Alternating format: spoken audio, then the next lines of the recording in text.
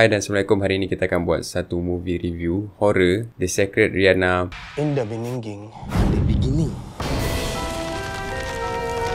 Okay, movie ni directed by Billy Christian. Uh, dia ni sebelum ni pernah direct Tuyul dan dia banyak direct movie-movie horror dekat Indonesia. Pelakon utama dalam movie ni ada The Secret Rihanna herself dan juga Aura Kasih dan ada few other cast. Okay, sinopsis pendek untuk movie ni senang cerita this is the beginning atau cerita permulaan untuk The Secret Rihanna lah. So, korang masuk dalam movie ni untuk tahu uh, The Secret Rihanna ni macam mana permulaan dia, macam mana dia boleh jadi macam tu, uh, karakter dia macam tu kan. Uh, so, korang boleh tahulah bila korang tengok movie ni.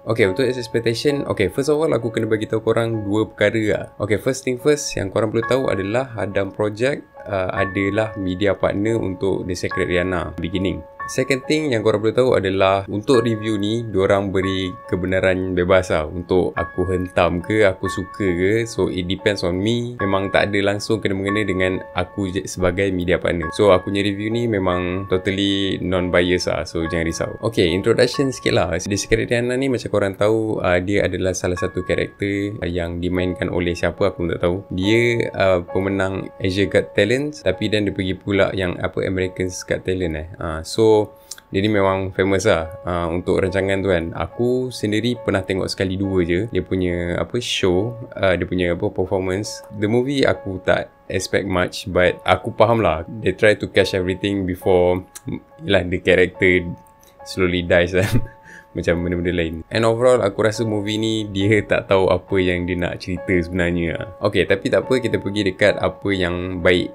atau best lah dalam movie ni. Salah satunya dia punya estetik estetik dalam movie ni actually is not that bad lah. Aku suka lah nampak cantik lah movie ni. Dia punya production team I think they did good in terms of apa yang orang try sampaikan. Overall estetik is good lah. Aku suka lah estetik dalam movie ni. Walaupun sometimes uh, ada setting yang tak make sense tapi uh, it's okay lah. Okay the second thing is the moment. Moment dalam movie ni uh, especially the horror lah. Ada satu dua moment yang aku suka yang aku rasa quite unique dan Aku suka juga macam mana dia shot uh, moment tu. Salah satunya dekat trailer yang aku terkejut kan. Ada apa banyak orang tergantung tu kan. Aku suka part tu. And ada few other moments yang aku suka dalam movie ni. Okay, so kita terus pergi dekat apa keburukan tentang movie ni. First thing first yang aku nak cakap tentang movie ni adalah movie ni tak fokus dan juga memang aku rasa dia tak tentu arah. Dia tak tahu dia, apa yang dia nak try sampaikan. Especially tentang uh, The Secret Rihanna tu sendiri. Dia nak bercerita tentang The Secret karakter Rihanna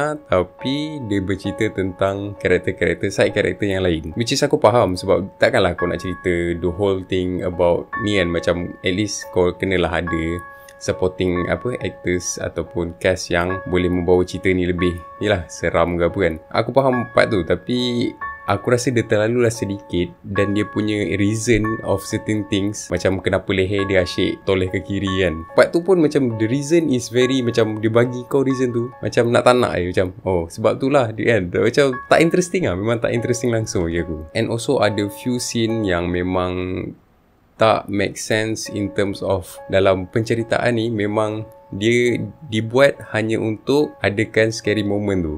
Ada one one scene lah. Aku sampai sekarang aku macam terfikir scene tu. Punyalah efektif kan. Yang budak yang aku cakap cute tu kan. Dia nak pergi tandas. Okay yang apa dia punya kawan tu teman kan. Uh, Yang dah dewasa lah. Teman okay. Dia hantar lah. Dia hantar dia berhenti jauh tau daripada tandas tu. Uh, Budak perempuan tu pergi. Dia perempuan dewasa ni Dia duk buat satu tour rumah tu. Which is aku tak faham. Kau teman budak tu nak pergi toilet Tapi kau duk pergi pusing-pusing rumah tu semata-mata nak tunjuk scary moment dalam movie ni itu je function dia. Aku tak tahu tu spoiler ke tak tapi really that scene aku macam why? Aku tak faham. Kenapa? Doesn't make any sense langsung dalam penceritaan ni. Memang tak make any sense. And dia punya ghost yang dia jumpa pun ada few uh, ada satu tu yang memang itu je. Lepas tu dia off Okay, lagi satu yang aku nak cakap pasal dia punya character development. Cerita ni peliknya adalah setiap karakter tu, dia macam orang jumpa hantu ni. Macam okay, dia jumpa hari ni kan. Patutnya the next day kau akan terrified lah. Let's say macam aku kan. Kalau aku jumpa, okay. Aku jumpa hantu ni, next day aku akan terrified gila lah. Macam okay aku, kalau aku jumpa memang aku lagi takut lah. Tapi cerita ni karakter dia setiap satu karakter dia ni yang jumpa hantu tu dia macam reset tau. Dia, dia jumpa lepas tu the next day dia takut lagi macam dia takut tu macam sama je reaction dia dengan yang first. Dia tak ada macam development karakter tu tak ada langsung. Aku tak tahulah mungkin sebab karakter dia ni yelah diorang ni ada macam special sikit lah. So aku tak tahu sebab tu ke tak tapi bagi aku Again, that makes sense. Okay, aku tak nak cakap panjang pasal movie ni. For this movie, The Secret Rihanna Beginning 3 per 10. Again, aku nak cakap terima kasih dekat Horizon Film Entertainment yang bawa Hadam Project as a media partner. Aku Yelah kita orang ni nobody Tapi dia bawa kita orang as a media partner So thank you so much. And korang boleh komen dekat bawah Kalau korang dah tengok movie ni Sebab aku release ni a bit late. So apa pendapat korang tentang movie ni Korang boleh review kat bawah. And thank you so much for watching this. Please do like this video And subscribe this channel. Tekan bell untuk dapatkan notification Kalau aku ada upload video baru. Thank you so much